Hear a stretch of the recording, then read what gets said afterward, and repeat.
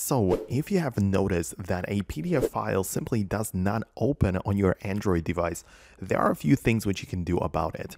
First of all, I would recommend you to download a different PDF browser or a PDF app on your Android device so you can open it up uh, or look it up inside of the Google Play Store and there are plenty of different apps which let you browse PDFs, you can literally just type in PDF into the search, and there are so many different like the Adobe Acrobat and like PDF Reader, and so many more which you can use for this purpose.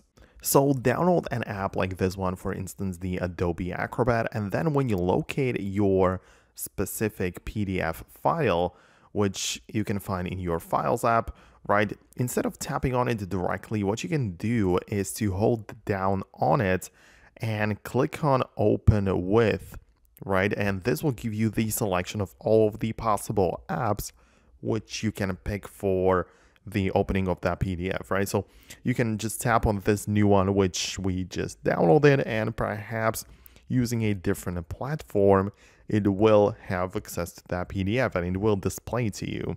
So this is like a good way to try out a different method of opening PDFs.